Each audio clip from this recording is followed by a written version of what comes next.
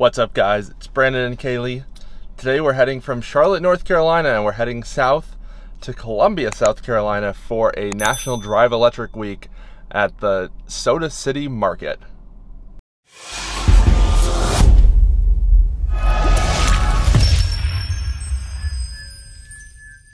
Just want to take a moment and thank today's video sponsor, EV Wash. There is a code down below for 30% off your order. They sell a wonderful kit of car washing products marketed towards EV owners. We have their waterless wash interior cleaner that does have a UV protectant in it and a glass cleaner.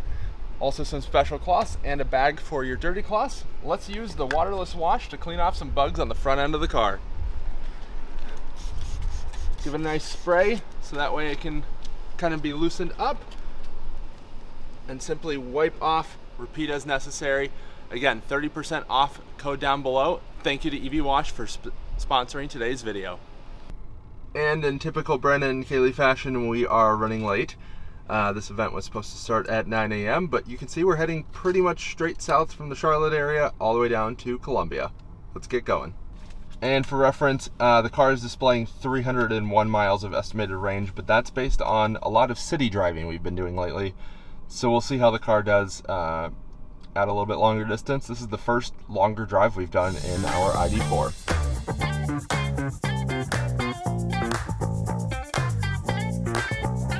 Made it onto the interstate. Now we're to be kicking on travel assist. So you do that just by pressing this this lower button here. You can see the green lines. That indicates that it can see the lines and then it does show a car up ahead and you can actually switch views to see a little bit bigger if you'd like.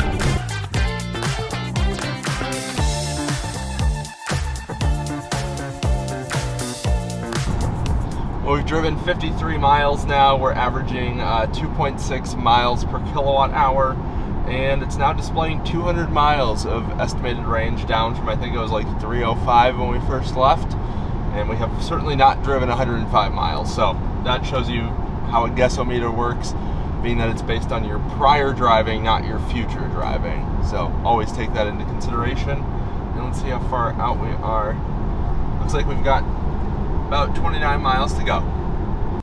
We just got here, you can see lots of Teslas and Leafs and all sorts of electric cars. We averaged 2.7 mile per kilowatt hour uh, over the course of 82 miles, and the car is now projecting 163 miles of range. And talk about fitting placement, there's a Starbucks literally right there. Whoa.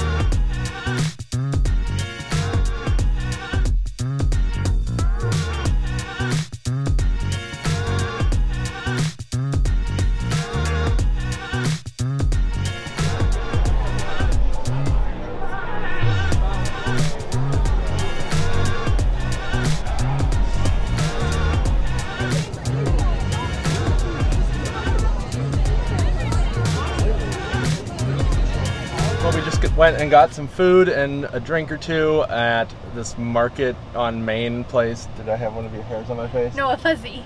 No, okay. Um, with some of the Drive Electric and Columbia Tesla owner group people. That was a nice time, and now we're going to be heading back to Charlotte. I think we're going to stop at McDaniel's Porsche in like 15-ish miles on our way back. Um, meander the lot for a few minutes, get a few extra kilowatt hour in the back, and then we'll head to Charlotte. What do you think of the event, Kalie? This is your first time coming to one of these. Yeah, it was good. I mean, there was a lot of people. It was kind of like right in the center of this little like uh, farmers market kind of thing, but it was downtown Columbia, so it was nice to see like a lot of people that didn't know anything or much about electric cars come up to like people and ask questions and like there was a few times that it just seemed like people like at least a few people will probably be converted just from the event so yeah i think a lot of people didn't realize how many new electric cars had come out even just like in the past year the mach-e yeah. the id4 um, like the taycan even the taycan is like a halo car of sorts even though a lot of people can't afford it it's still like they realize, oh hey, Porsche's taking electric seriously.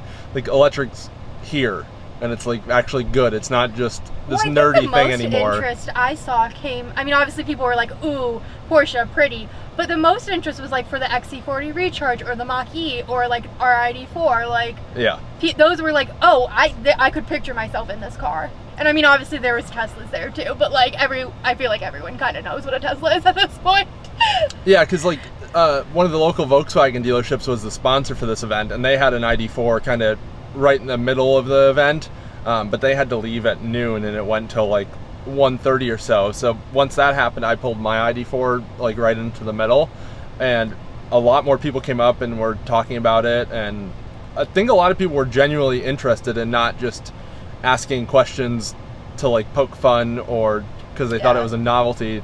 They were actually asking questions like how it can fit into their lifestyle, which was yeah. cool to see, especially as someone that's done similar events like In for past. quite like for quite a few years.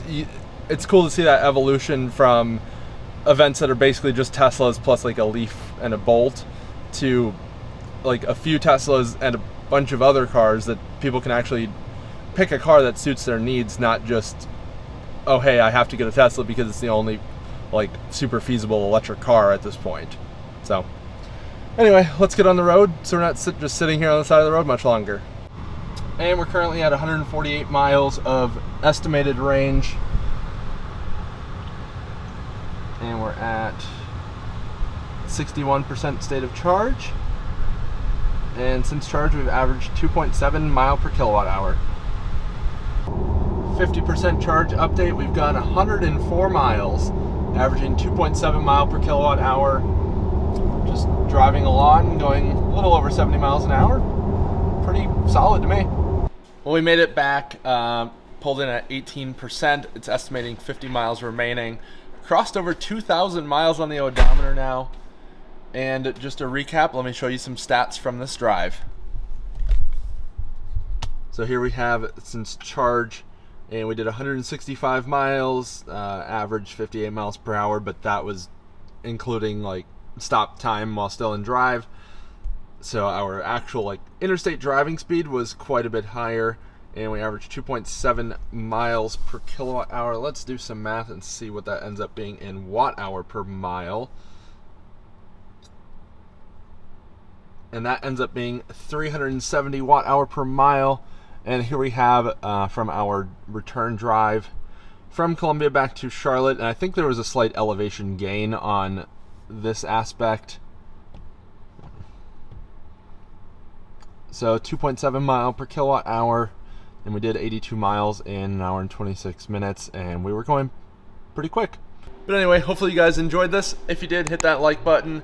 If you want to see future content, please hit that subscribe button, and we'll see you guys next time.